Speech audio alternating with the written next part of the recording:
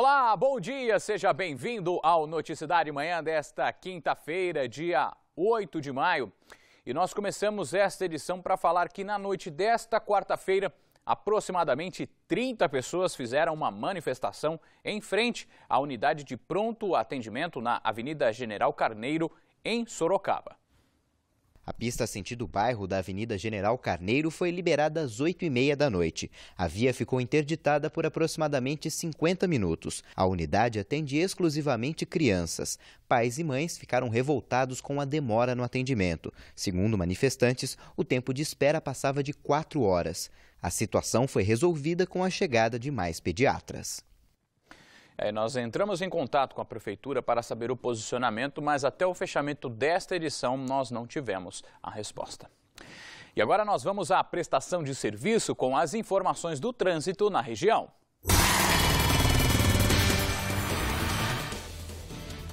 horas e dois minutos e quem nos traz toda a movimentação nas principais ruas, avenidas e rodovias da região é a Andréia Trevisan. Bom dia, Andréia. Bom dia, bom dia a todos. Nós estamos aqui na rodovia João Leme dos Santos, por aqui, trânsito carregado, mas o motorista não encontra lentidão, só mesmo na lombada. Apesar de ser uma rodovia, tem lombada, também tem bastante vias de acesso para os bairros que ficam às margens da rodovia, mas o motorista pode seguir sem nenhum problema. O número maior de veículos é em para é, sentido Sorocaba. E também na Raposo Tavares, aqui perto da gente, até São Paulo, o motorista não encontra nenhuma dificuldade. Já para quem segue pela Castelo Branco, já chegando à capital, próximo a Barueri, a pista expressa, claro, o trânsito começa a ficar lento, mas por causa do excesso de veículos. Não há registros de acidentes. E já na rodovia Ayanguera, o tráfego também intenso para quem sai de Jundiaí, sentido capital, deixa o trânsito trânsito um pouquinho mais lento. Fernando.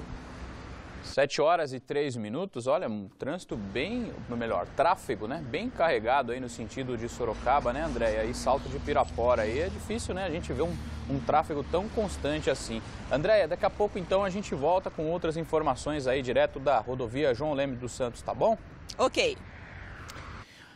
Um menor foi baleado durante uma troca de tiros com a guarda municipal em Jundiaí. De acordo com a polícia, ele e mais dois suspeitos estavam no Jardim Fepasa quando foram abordados pela Guarda Municipal. Houve perseguição e troca de tiros. O menor foi baleado e encaminhado ao hospital. Os outros dois conseguiram fugir. A Justiça determinou a redução para a pena de, para, de 45 anos a pena de Maninho, preso por matar cinco jovens em 2007 em Votorantim. A pena inicial previa 135 anos de detenção. O advogado de Maninho disse que vai recorrer da decisão ao Supremo Tribunal Federal para que ele vá a júri novamente. O crime aconteceu em outubro de 2007 e ficou conhecido como a Chacina de Votorantim. Quatro casais de jovens com idades entre 14 e 21 anos deixaram de frequentar a aula e foram ao mirante de Vossoroca. Maninho e outro homem armado renderam os adolescentes e cometeram a execução. Cinco morreram e os outros três, que se fingiram de mortos, conseguiram escapar. Um outro suspeito de participar do crime, Jair Martins, conhecido como Punk, foi julgado e absolvido. Um terceiro suspeito, Wellington Barros da Silva, foi morto cinco dias após a chacina. Maninho está preso na cadeia de Mirandópolis. Recebeu alta a professora agredida na terça-feira por alunos da escola estadual que fica no bairro Vitória Régia, em Sorocaba. Ela disse que foi empurrada depois de uma discussão com os estudantes. O caso foi mostrado pela equipe de jornalismo da TV Sorocaba SBT. No dia do ocorrido, as aulas no período da tarde chegaram a ser suspensas. A profissional segue afastada pelo menos até a próxima segunda-feira. Ela agora deve passar por exames neurológicos. E olha, uma agência bancária de Sorocaba fechou as portas pela segunda vez por conta de assédio moral. De acordo com o sindicato, a pressão por parte da gerente teria aumentado nesta quarta-feira. Clientes da agência que fica no centro não puderam entrar. Na terça-feira, o Sindicato dos Bancários de Sorocaba e região também encerrou os trabalhos, alegando assédio moral por parte da gerente da agência. Foi um alerta para que o banco tomasse as providências cabíveis. E como o banco não tomou essas providências, então nós estamos fechando novamente a agência. A assessoria de imprensa do Banco Santander informou que o atendimento aos clientes já foi normalizado. É, pois é, e nós entramos em contato com a assessoria de imprensa do Santander para saber o que vai ser feito em relação à gerente. Em nota, o banco informou que as acusações estão sendo apuradas e que, se necessário, as medidas adequadas serão adotadas. Daqui a pouco, os gols da rodada e a seguir, você lava as mãos corretamente? Nós vamos mostrar em instantes a maneira correta para que doenças e bactérias não afetem a sua saúde por conta disso. Agora são 7 horas e 9 minutos. Você vê aí imagens ao vivo da rodovia João Leme dos Santos, que liga Sorocaba a Salto de Pirapora e neste momento tráfego intenso nos dois sentidos. Atenção motorista, o Noticidade Manhã volta já.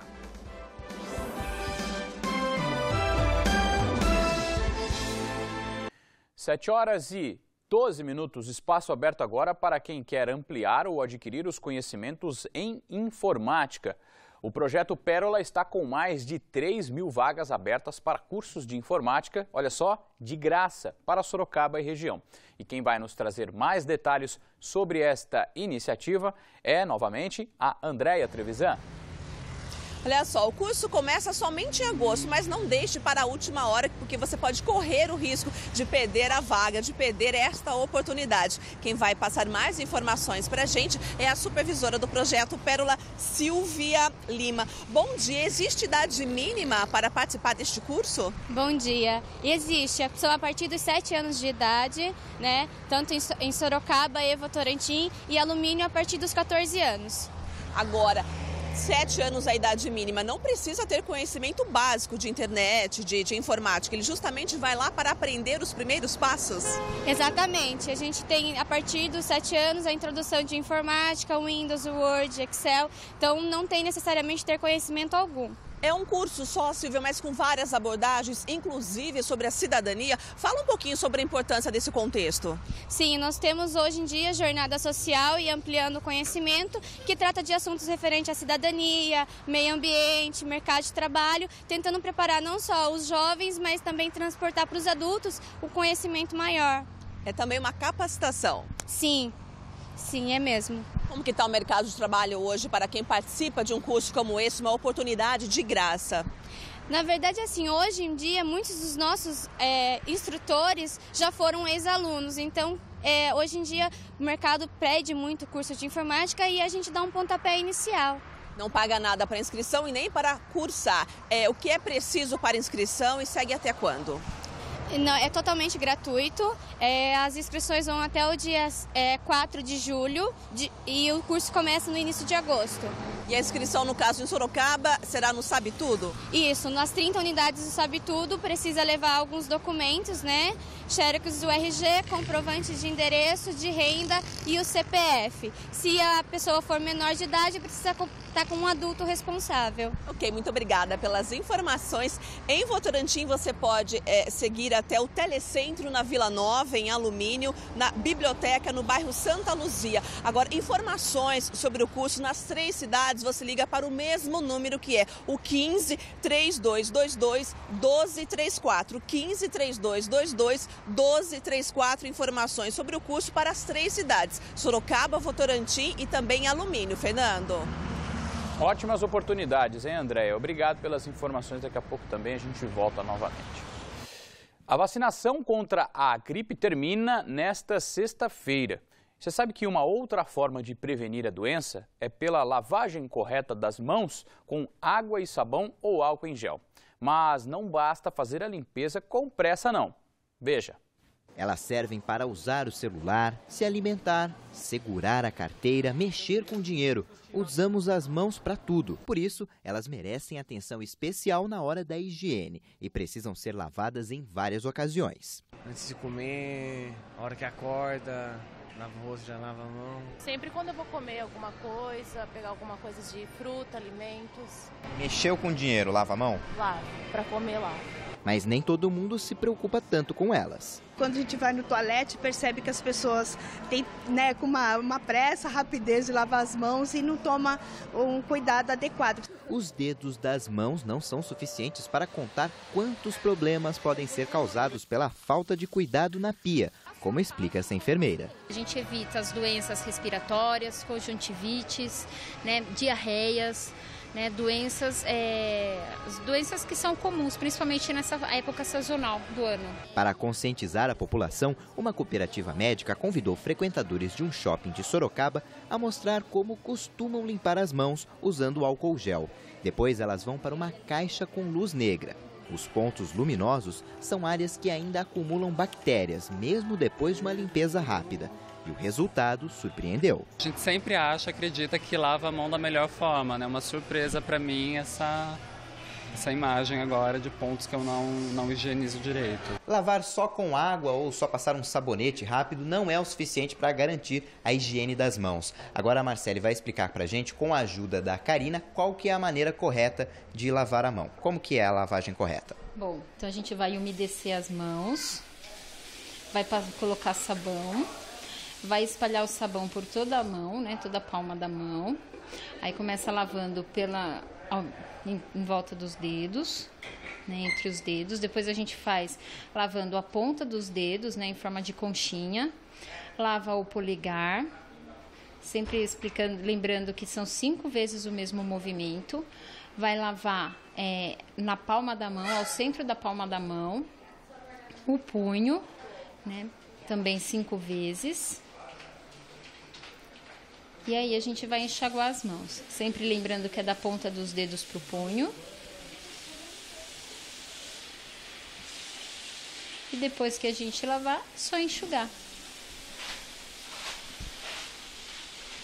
Bem trabalhada essa lavada de mão, hein? A gente fala do tempo agora. Nesta quinta-feira existe, olha só, a possibilidade de chuva na região. Tomara, estamos precisando. Nós temos imagens aí ao vivo de Sorocaba onde a mínima será de 17 e a máxima não deve passar dos 26 graus. O sol brilha forte neste momento. Veja como fica o clima em outras cidades.